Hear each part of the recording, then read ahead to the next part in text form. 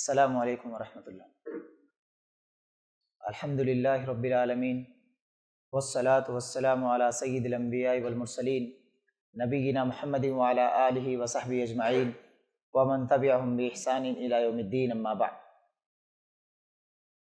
अल्लाह ताला की तारीफ़ तौसीफ़ बादह रहमत मदीना के ताजदार इमामुल अंबिया अफजल अंबिया मोहम्मद मुस्तफ़ा सल्लल्लाहु अलैहि वसल्लम पर दरुद सलाम के बाद आज इन अज़ीज़, अल्लाह की तौफ़ी व फजल करम से आपकी खिदमत में एक वाक़ सही मुस्लिम से एक वाक़ पेश करूँगा। और उस वाक़े से जो सबक हमको मिलता है, वो सबक इन आपकी खिदमत में रखूँगा। इस उम्मीद के साथ कि इन अज़ीज़, हम और आप उस वाक़े को सामने रखते हुए अपने आप को बदलने की कोशिश करेंगे और उस वाक़े से जो सबक हमको मिलता है, उस सबक को हमेशा अपने सामने रखेंगे, पेश नज़र रखेंगे। अल्लाह हम सबको तोफ़ी दे। सही मुस्लिम में वाक़ मौजूद है।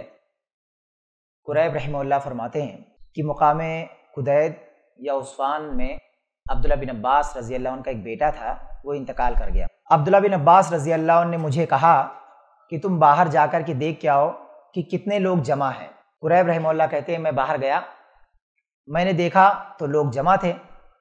जब मैं वापस आकर के मैंने अब्दुल्ला बिन अब्बास को बताया कि लोग जमा हैं तो अब्दुल्ला बिन अब्बास ने पूछा कि क्या चालीस लोग हैं? तो कुरैब रहमल्ला ने कहा कि हाँ है। तो अब्दुल्ला बिन अब्बास ने कहा कि ठीक है, अगर चालीस लोग हैं तो मेरे बेटे को तुम बाहर निकालो। क्यों? उसकी वजह बयान करते हैं कि मैंने जो चालीस पूछा तुमसे कि चालीस लोग बाहर हैं, उसकी वजह क्या है?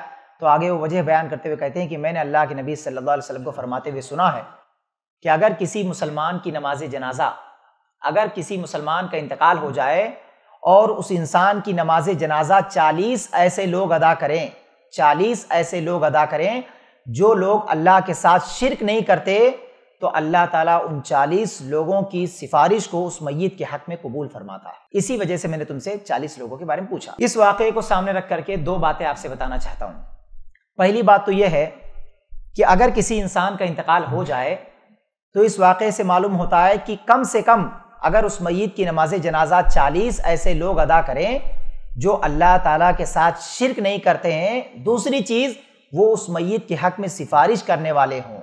अगर ये दो चीज़ उन चालीस लोगों के अंदर पाई जाए तो उम्मीद है कि इन अज़ीज़ अल्लाह ताला उस बंदे के हक में उन चालीस लोगों की सिफारिश को कबूल फरमाएगा। अब आप देखें मुआरे की कंडीशन को देखें, हालत को देखें। यहीं पर दस बीस लोग मौजूद हैं। आप सब लोग अच्छे से चेक कर लें। मैं कई जगह इस वाक़े को बयान कर चुका हूँ। लोगों से पूछ चुका हूँ। जब भी 40 लोगों के दरमियान 50 लोगों के दरमियान 100 लोगों के दरमियान 200 लोगों के दरमियान, जब भी मैंने ये किस्सा रखा है, जब मैंने पूछा कि अच्छा आप लोग खुद गौर करें कि आप में से कोई आदमी ऐसा है जो अल्लाह के साथ शिरक करने वाला है? तो सब लोग कहते हैं कि नहीं, अल्लाह का फजल है, हम लोग अपने आप को शिरक से बचा के रखें। ये अच्छी बात है। फिर उनसे पूछता हूँ कि अच्छा आप लोगों में से बताएँ कि इन दो सौ सौ, दो सौ लोग जितने सामने बैठे हैं इनमें से अगर किसी का इंतकाल हो जाए तो क्या आप सब लोगों को वो दुआ याद है, जिसके ज़रिए आप अल्लाह से उस बंदी की सिफारिश करेंगे आप? सौ लोग, दो सौ लोग हैं। पूछता हूँ कि अच्छा बताइए, आप लोगों को दुआ याद है? जानते हैं कितने लोग हाथ उठाते हैं? कितने लोग? उन 200 लोगों से जब पूछता हूँ कि अच्छा बताइए, एक सिफत तो आपके अंदर है, एक खूबी तो आपके अंदर है, जो दूसरी खूबी जो है सिफारिश करने वाली, कि अल्लाह से सिफारिश करना है क्या कहना? अल्लाह मकफिल हयीना व मयीतना व शाहिदीना। या अल्लाह मकफिल वरहम वाफ़ ये जो बंदे के हक में सिफारिश करना अल्लाह से, याद है? तो उन 200 लोगों में से 100 लोगों में से 50 लोगों में से, पाँच लोग, छह लोग, आठ लोग, दस लोग, बारह लोग ऐसे हाथ उठाते हैं। बाकी सब के सब लोगों को दुआ याद नहीं है। जबकि छोटी दुआ कोई बहुत बड़ी दुआ नहीं है। तो ये जो दूसरी सिफत है, इस सिफत को जो है हम और आपको अपने अंदर पैदा करने की ज़रूरत है। अल्लाह हम सबको तोफीक दे। दूसरी बात यह है कि आप देखें इस वाक़े से एक बात यह भी मालूम पड़ती है, जैसा कि मैं मुआरे में देखता हूँ कि जब भी किसी इंसान का इंतकाल होता है तो मैं क्या देखता हूँ कि एक आदमी क्या करता है? एक भाई उसका सऊदिया में तो बोलता अच्छा मेरा भाई आ रहा है, थोड़ा रुको। उसकी बहन कहीं बाहर है तो बोलता, मेरी बहन को भी बुला लो। वो सब कुछ देखता है। अब्बा जान है बराबर नहलाना सही से सब कुछ करता है। लेकिन मैं देखता हूँ कि अच्छे अच्छे लोग इस बात का ख्याल नहीं करते कि ये जो मेरे अब्बा की नमाज़ जनाजा पढ़ने वाले, ये सब जो लोग हैं, क्या इनमें चालीस लोग ऐसे हैं कि नहीं जो मेरे अब्बा के हक में बख्शिश की दुआ कर सकते हैं, सिफारिश कर सकें? ये सब हमारे यहाँ कोई नहीं देखते। सब कुछ देख रहा बंदा, बराबर अम्मी आई, नहीं आई, खाला आई, नहीं आए भाई आया, नहीं आया। मैं कहता हूँ, ये सब देखो, कोई मसला नहीं है। लेकिन कम से कम इस बात का ख्याल करो कि भाई मेरे अब्बा की नमाज़ जनाजा होने वाली है, मेरी अम्मी की नमाज़ जनाजा होने वाली है, मेरी बीवी की नमाज़ जनाजा है, क्या पीछे चालीस लोग ऐसे हैं कि नहीं? जो अल्लाह के साथ शिरक नहीं करने वाले हैं, जो मेरे अब्बा के हक में सिफारिश करने वाले हैं कि नहीं?